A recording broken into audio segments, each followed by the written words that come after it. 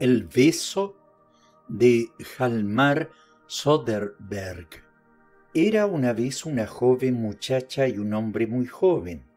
Estaban sentados en una piedra, en una punta de tierra que entraba al mar, y las olas golpeaban hasta tocar sus pies.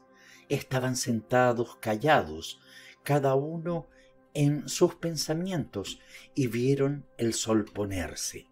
Él pensó que tenía muchas ganas de besarla.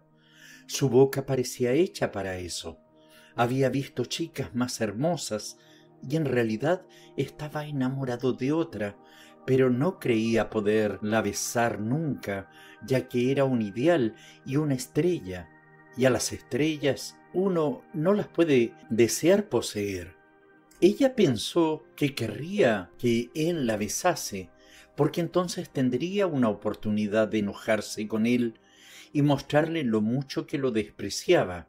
Se levantaría levantando las faldas y ajustándolas en torno a sí, lo miraría con una mirada cargada de helada burla y se iría, derecha y sin prisas innecesarias.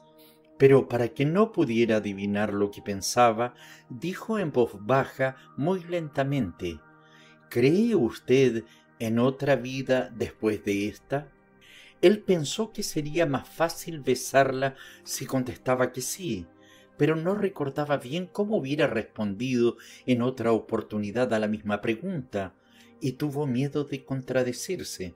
Por eso la miró profundamente a los ojos y dijo Hay momentos en que creo que sí. Esa respuesta agradó a la chica enormemente y pensó de todas maneras me gusta su pelo y también la frente.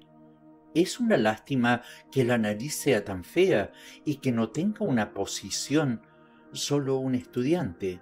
No era con un novio como ese que se haría envidiar por sus amigas.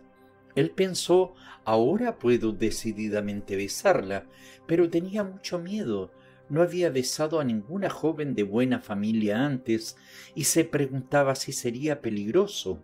Su padre estaba echado en una hamaca no muy lejos de allí y dormía, y era el alcalde de la ciudad. Ella pensó quizás sea mejor si le doy un bofetón cuando me bese.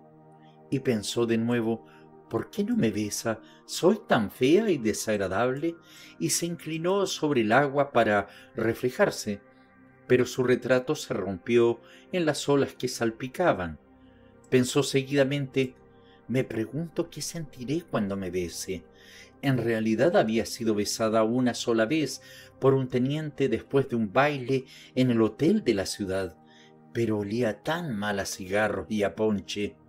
Y ella se había sentido un poco halagada de que la hubiera besado, ya que era un teniente, pero por otra parte ese beso no había sido gran cosa, y además lo odiaba porque después del beso ni le había propuesto matrimonio, ni la había mirado otra vez.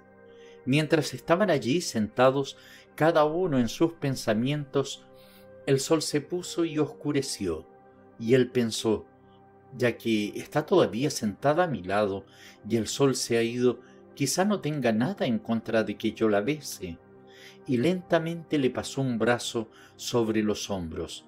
Eso ella no lo había previsto. Había creído que la besaría sin más preámbulos y que entonces ella le daría una bofetada y se iría como una princesa. Ahora no sabía qué hacer, quería enojarse con él, pero no quería perder la oportunidad de ser besada. Por eso se quedó sentada completamente quieta. Entonces él la besó. Era mucho más extraño que lo que ella había pensado. Sintió que se quedaba pálida y sin fuerzas, y que se había olvidado totalmente de que le iba a dar un bofetón, y que no era nada más que un estudiante. Pero él pensó en un pasaje de un libro de un médico religioso llamado La especie femenina, en donde decía, pero cuidado con dejar que el abrazo matrimonial se supedite al dominio de las pasiones, y pensó que debía ser muy difícil cuidarse si un solo beso podía ya hacer tanto. Cuando salió la luna estaban todavía sentados besándose. Ella le susurró al oído, Te amé desde el primer momento en que te vi. Y él respondió, Para mí no ha habido otra en el mundo que tú. Fin.